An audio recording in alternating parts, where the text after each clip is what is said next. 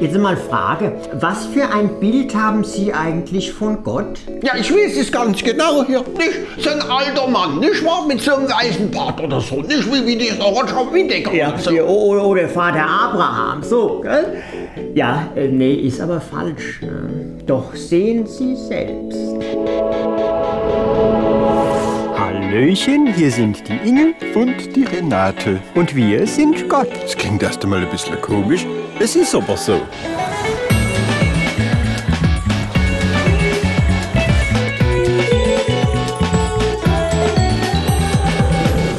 Hallöchen, da sind wir wieder, die Inge und die Renate.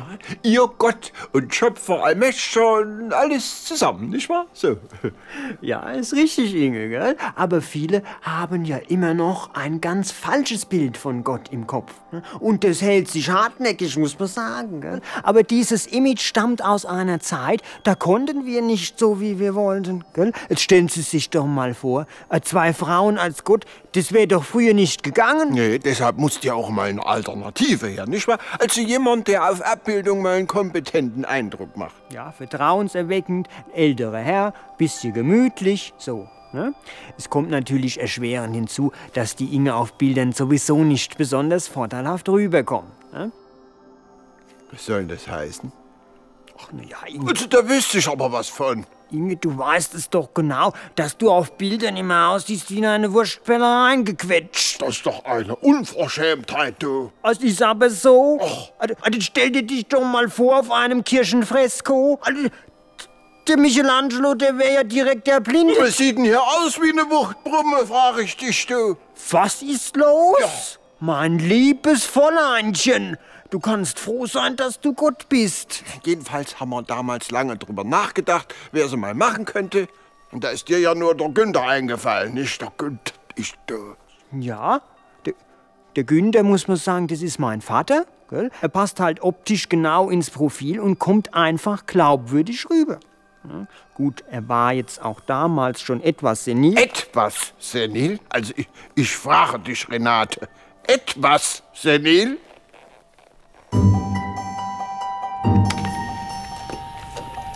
Günther, Günther, bist du soweit? Ich such mal Brill. Sag mal, hast du mal Brill gesehen? Oh, ich hab dir gesagt, lern den Text, die paar Zeilen. Du, das ist so eine Schnapsidee, du. Ja, als ob ich sonst nichts zu tun hätte. Ich brauch doch die Brille, steht doch nix. Gott, mit Brill ist doch auch nicht besser. Hallo, hier spricht der Herrscher über Himmel und Erde, Schöpfer. Also sprach der Herr, äh, geht hin, seid furchtbar und mehret euch. Fruchtbar und so, Schluss jetzt. Ich fand es eigentlich gut, das soll ich noch mal. Ich mein, äh, viel besser kriegt man es eigentlich nicht in auch. Das jetzt? Ich tippe mal auf Gott. Ach, das ist ja peinlich jetzt, sag mal. Sag mal, Moses, also schreibt jahrelang an diesem Buch über Gott. Ja, jetzt hätte ich den fast nicht. Ach, das wäre ein Klopper gewesen, das darfst du aber keinem erzählen, du. Ja, für mein Buch ist das natürlich ein Glücksfall, ne, so gesehen.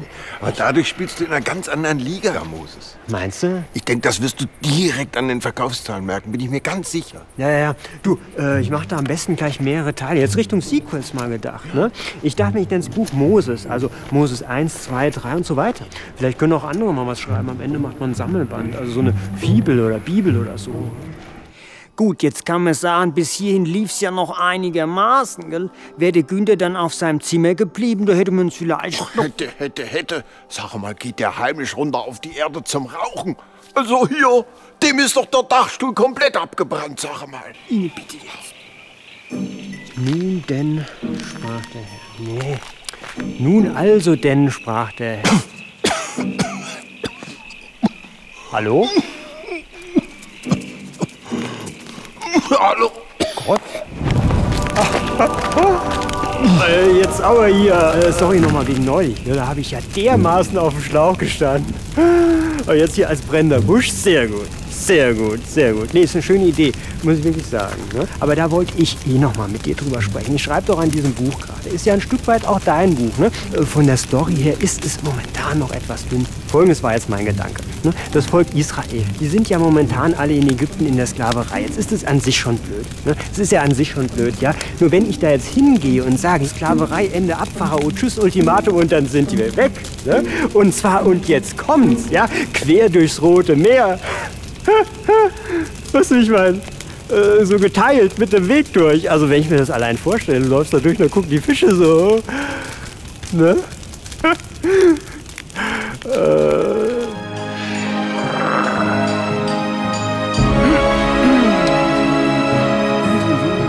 Unverzüglich das Volk Israel aus der Gefangenschaft befreien? Äh, drohen wir ihn mit diversen Plagen und Seuchen. Ihr Moses, the voice of God.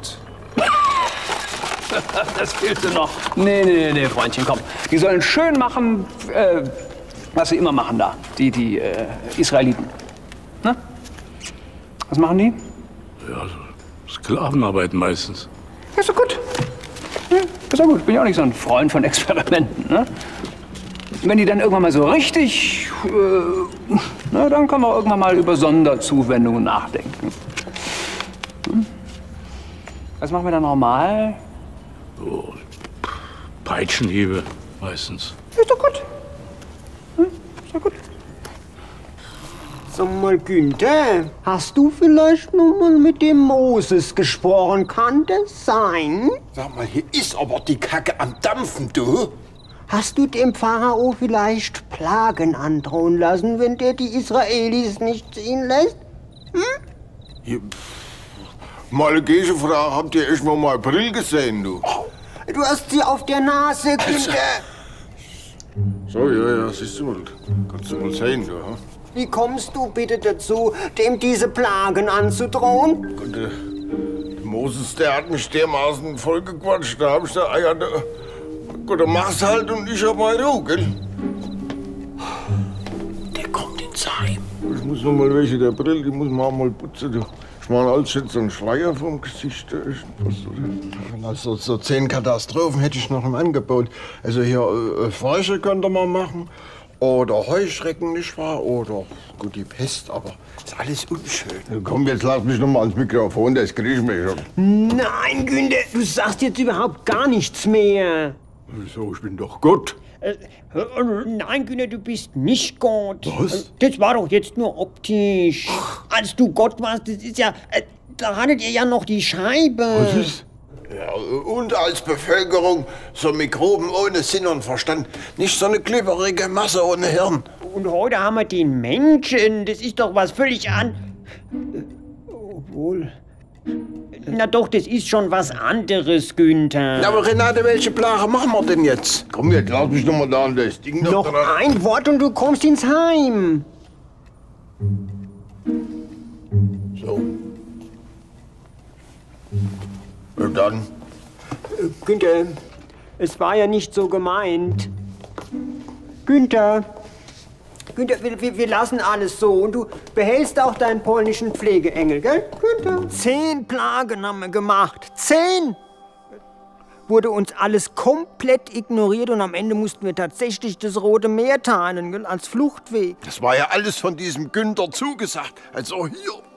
Ich sag noch zu ihm, Günther, hast du eigentlich eine Vorstellung davon, was das für ein Aufwand ist, so eine Meeresteilung? Weil mit den ganzen Fischen, weißt du, wie lange wir daran sitzen? Es kam aber gut an. Das muss man auch mal sagen, Renate.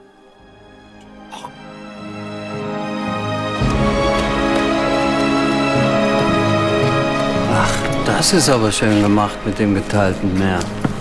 Ja, da kann man jetzt wirklich nichts sagen. Hätten Sie vielleicht Interesse? Da könnten Sie jetzt alles noch mal nachlesen. Das ist das Making-of hier praktisch. Also das äh, Buch zum Wunder, könnte man sagen. Ne? Also die Brenneisen, die hätte ich jetzt da.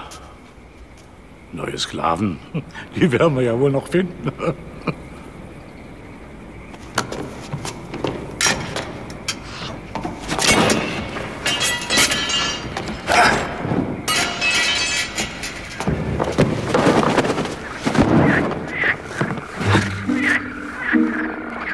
Also, äh, bei den meisten kam's jedenfalls gut an. Nichts muss man mal sagen. Aber den Günther konnten wir jedenfalls nicht mehr vor die Kamera lassen. gell? Und um dann nicht in weitere Schwulitäten zu geraten, haben wir dann eben gesagt, du sollst dir kein Bildnis machen. Nicht, überhaupt keins. Gar keins. Schlussende. Aus. Nur dieses Bild von dem Günther, das hatte sich ja schon dermaßen eingebrannt ins kollektive Bewusstsein. Das kriegst du da ja nicht mehr raus, wenn das ein... Ja, obwohl ich ja immer noch denke, dass ich auf einem Kirchenfresko sehr gut ausgesehen hätte, nicht wahr? Ach, Inge, bei der Presswurstfigur. Du Inge, ob du es glaubst oder nicht, man muss einfach nur hier klicken und dann hat man den kompletten Kanal abonniert. Nee. Doch? Ach, sag mal, geht es genauso einfach mit der Glocke? Ja klar. Nee. Doch? Ach, Außerdem kannst du kommentieren, liken, das geht alles. nee. Doch.